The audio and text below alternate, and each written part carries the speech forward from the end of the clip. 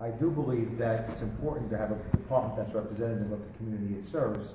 And we have made significant efforts in an, in an attempt to recruit minor, minority officers within the department.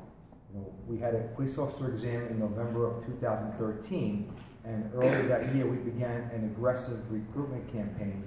And we reached out to community groups uh, and asked for their help in getting the word out and helping us to recruit individuals to take the exam. We reached out to groups like the NAACP, the YMCA, the YWCA, the Yonkers Guardians, Westchester Guardians.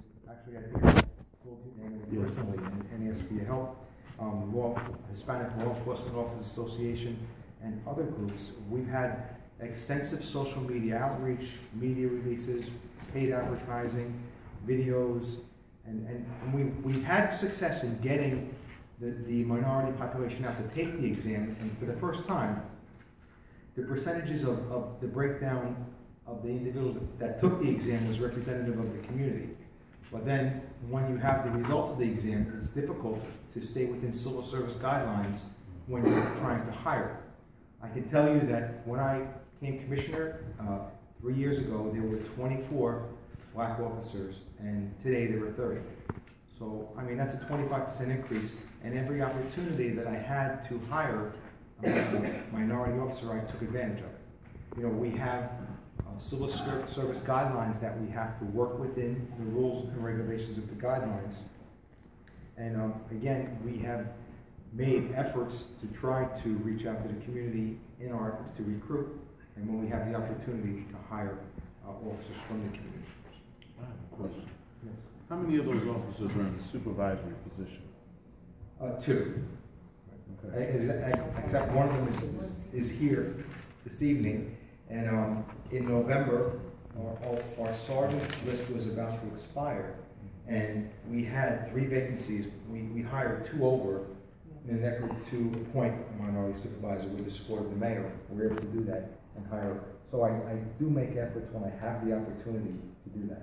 I have a question as well. Have you gone to college campuses and let people who probably would do very well on a civil service exam know that you're hiring?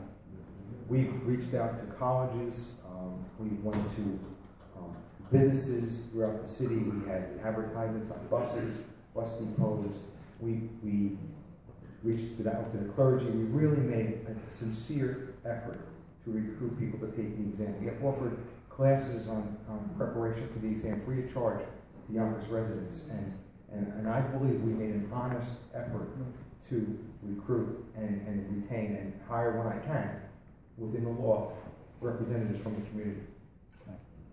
Is there a break, I'm sorry, Commissioner, is there a breakdown, I know maybe it's not, you know, appropriate based upon, you know, um, standards of confidentiality or discrimination, but can you, do you have any numbers to suggest how many white officers, white, um, um, citizens took the test versus people of color?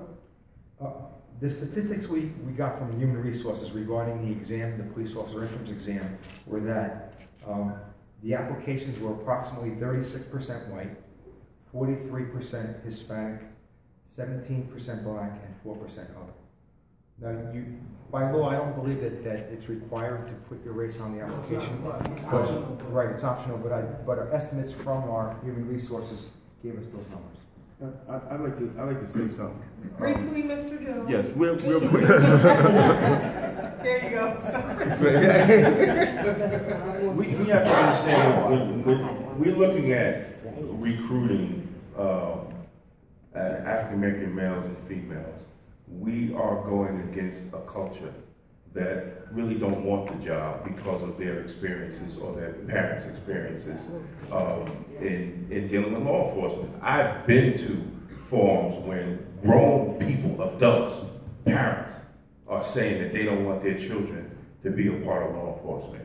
So, and, and, and also, um, to the credit of the commissioner, he is trying over years of not having that type of outreach in the Yonkers community or Westchester or, or, or Westchester itself.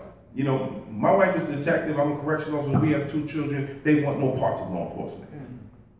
Because of what they experienced, I had to go down to the 67th precinct and Yeah, deal with something with my daughter. So, you know, young, young children that are able to take the test, they don't want the job. So we have to change what the job is to young black men and women. We have to change it. But it goes back, again, it goes back to accountability because if they don't see the, the type of accountability, then they don't want to be a part of it. So what they're doing and the numbers that, that they're doing it with is good and we have to continue to do it so more, for, so more kids will want to take the test. You know, and, and, and I think it's, it's, it's, it goes back to dialogue, it's going back, it goes back to being in the community, and it goes back to them seeing a different type of, of policing in their community that they want to be a part of, a, of, of an occupation or, or a career that you could really take care of your fam, take care of your family. I have a question for